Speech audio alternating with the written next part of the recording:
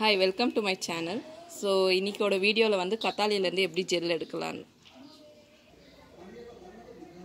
So first step என்ன பண்ணோன்னா சைடில் இருக்கிறதெல்லாம் கரெக்டாக ஃபீல் பண்ணி எடுத்துருங்க.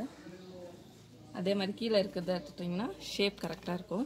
ஸோ இதே மாதிரி இந்த சைடில் இருக்கிறத எடுத்துடுங்க ஸோ கத்தால வந்து ஃபுல்லாக அதில் இருக்கிற பெனிஃபிட்ஸ் மோஸ்ட் ஆஃப் தம் தெரியும் இது வந்து மதர் ஆஃப் ஹேர்பல்ஸ்ன்னு சொல்லலாம்.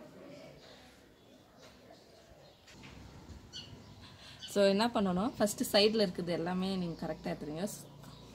இந்த பக்கமும் இந்த பக்கமும் ஷேப் கரெக்டாக எடுத்துட்டு.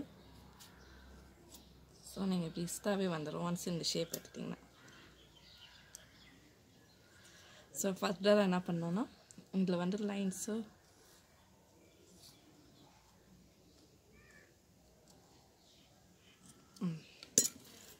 ஸோ இந்த சைடில் கரெக்டாக ஸ்பூன் ஹேண்டில் பண்ணிவிட்டு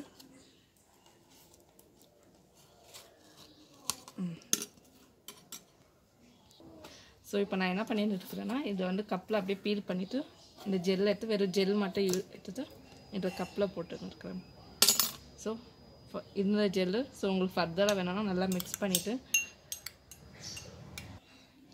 ஸோ இதுதான் பியூரான ஜெல் எப்படி எடுக்கணும்னு ஸோ இதோட பெனிஃபிட்ஸ் வந்து உங்களுக்கு நெக்ஸ்ட் வீடியோவில் நான் போஸ்ட் பண்ணுறேன் ஸோ இந்த வீடியோ உங்களுக்கு பிடிச்சிருந்துச்சின்னா லைக் பண்ணுங்கள் ஷேர் பண்ணுங்கள் சப்ஸ்கிரைப் பண்ணுங்கள் தேங்க்யூ